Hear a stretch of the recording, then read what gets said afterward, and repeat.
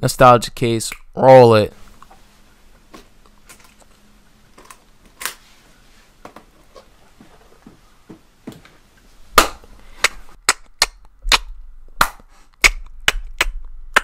Apocalypse Now is the nostalgia case. Oh my god, bro.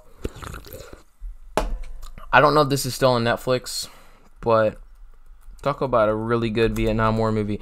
The reason I'm picking this now is because Oh, Apocalypse Now. No. The reason oh, it's on Hulu. There we go. It's on Hulu. Um, and HBO Max. There we go. If you are an HBO Max guy, my boy Draven is. Shout out to Draven for its nostalgia. Still hasn't put out a video yet, but uh, he will be doing there and on the channel thing. Yeah, whatever. Who cares? Uh, I care.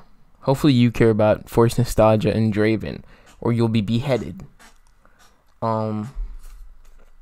Yeah. So, Apocalypse Now, Vietnam War film, crazy shiznit, and um, came out in 1979 by um Francis Ford Coppola, director of such prestigious films as Conversation, Godfather One, Godfather Two, Patton.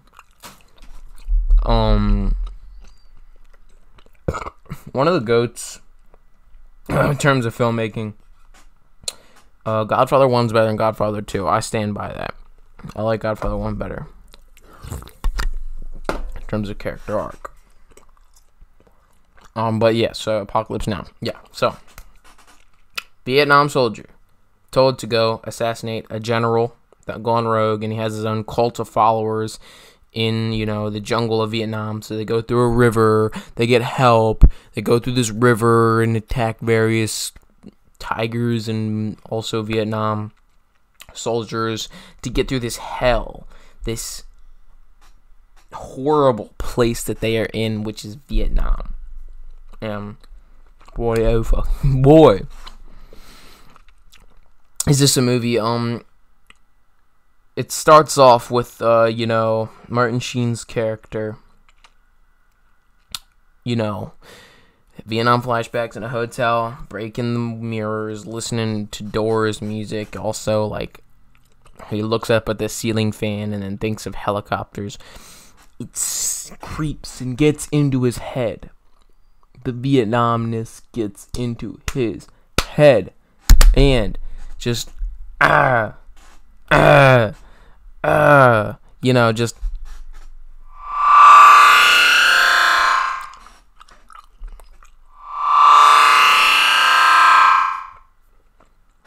Exactly. What? Oh no! That's what this does to him. And color grading is beautiful. Every shot is colored like a painting. It's not like every shot's the most beautiful thing ever, but um you know, just I'll show you shots of some helicopters and stuff and you'll just be like, "Wow, that looks like a you know, oil on canvas painting or some beautiful stuff. And the color grading with this is just like, what the heck, man? How can you do such a great job? How can you do such a great job? Like, um, there's a million video essays on how fucking hard it was to make this movie. Oop, I said a bad word. Um, but it was very hard to make this movie. It was very hard to find locations. It was very stormy, very painful, and there's like a whole documentary in the filming. That's like you you know movies are um you know movies are like very hard to make if they're going to make a documentary on how hard it was to make the movie and how difficult the process was like this is like a good example of a really good slow burn because the ending is insane but it's not sl- it's like a slow descent into this hell this madness this crazy thing and how Vietnam War is not a good guy versus bad guy. It is like a corrupting parasite that soaks and sees into your brain in Vietnam. Wow, just wow. This apocalypse now, wow um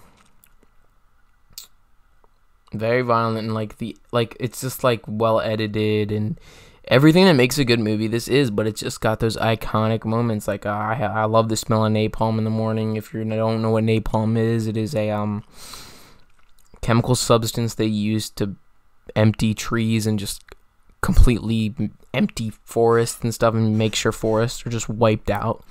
Um and Apocalypse Now is just a prestigious film, and I had to talk about it because, uh, you know, Da 5 Bloods, the movie. we want to make nostalgia case relate to the new movie we're relating. So I picked up another Vietnam War movie, and I already talked about Full Metal Jacket, so I just had to talk about the excellence of this. And um, when at the end Martin Sheen's character pops out to uh, you know do his mission to fight this general gone rogue, this American general gone rogue who has his own cult. He pops out of the water, and there's this shot of him as the lightning screeches across his face. It's on the director's cut, um, you know, poster, and it's just like that's that's what I'm gonna look like when I see a girl in person after this quarantine. I'm finna pop out like Martin Sheen, and um, I'm just gonna I'm gonna have I'm gonna have the roller clip of Ch- Martin Sheen's son Charlie Sheen in an interview saying like I'm not high. The only he's like the reporter asks, "Are you high on anything?" He's like, "The only thing I'm high on is Charlie Sheen." I'm gonna play that for you, and you're just gonna laugh. It's um, I'm gonna play an editing John now. Next question. Are there any drugs in this house? If there Put that are, down for a second. if there are, you better find them and give them to me immediately. Ooh, drugs in the house. Ah, we're all gonna die. Sure. Yeah. Yeah, I'm, I, I, I am on a drug. It's called Charlie Sheen. Um, shut up. Stop. Move forward. When was the last time you used? Use. Uh, see, I don't use. I use a blender. I use a vacuum cleaner. I use. Uh, you know. Yeah, I- isn't you know. that crazy? Charlie Sheen's crazy, and this movie's crazy, and this movie's crazy good, and you should definitely check it out if you just want to watch really gosh darn good movie, and um, just classic, 'cause, like it's one of those must sees, and it's also just another example why the Vietnam War mo- movie genre makes the best war movies. Um, yeah, I hope you guys are doing fantastic. The, the, the Mike Media Empire. Mike Media Incorporated.